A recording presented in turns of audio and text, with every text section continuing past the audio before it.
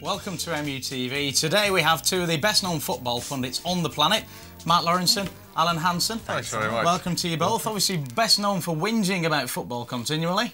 Well, you know, I don't know about that, Darren. You know, we did actually play the game as well, don't you did, forget. You did play the game. Of course Well, that's did. In the 80s. Liverpool- Are they still going, Liverpool? Of course they still... Is he taking the mickey? Of I think course you they might still- be. Of I course might they take still umbrage at that comment. Well, festive greetings to you both anyway. We're nearly up to uh, Christmas. What are you buying each other? I mean, I'm assuming maybe a, a pair of razors would be a good start. Obviously, a reference to the immense amount of facial hair we both got. For me, football tie. Find the shop, find the tie, buy the tie, no hesitation, wear it with pride. Ties, he said. He said he likes ties, you Right. know. He likes to look nice and Okay. nice and Yeah, smart. and, and yourself, Mark? Well, of course, I, I always I buy my friends the same gift every year. You know, commentators, people involved in and around the game, Darren, they're always saying uh, what a lovely thing hindsight is.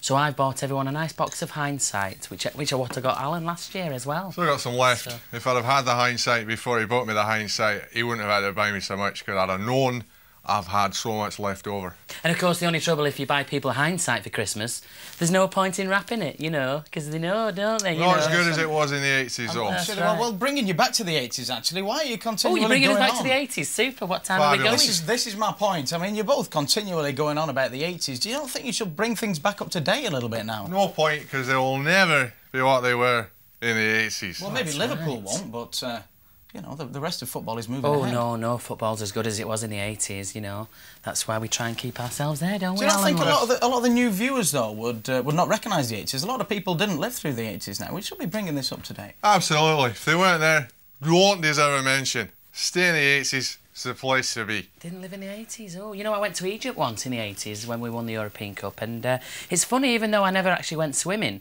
everyone kept saying. Mark Lawrenson's in denial, and I don't know what they meant because I didn't even go swimming in the Nile. You saw So I plenty don't of action as well. I'm- there, I'm gonna you? Lots of quickly, action, I uh, did, gentlemen. Yes, yeah, lovely. I'm going to quickly draw this back now. Uh, we, we're going to go for. Uh, we, we had a viewer's uh, question in actually, and, and I just thought I'd put it to you. Like for the Boxing Day game, you know, when uh, all the teams play on Boxing Day, we were wondering whether instead of the kits, we should maybe dress all the players up in maybe a Santa outfit, maybe a, a red one and a blue one with a little Santa hats on as a, as a festive gesture. What, what are your I thoughts mean, about that? Thank God, when you mentioned Boxing Day, I got worried then because you won't catch me in the ring. No, no, sir. It's not But- strictly what I've heard, but uh, no, fabulous idea. You know why? It's what we did in the 80s. Well, thank you very much, gentlemen, and uh, thank you both.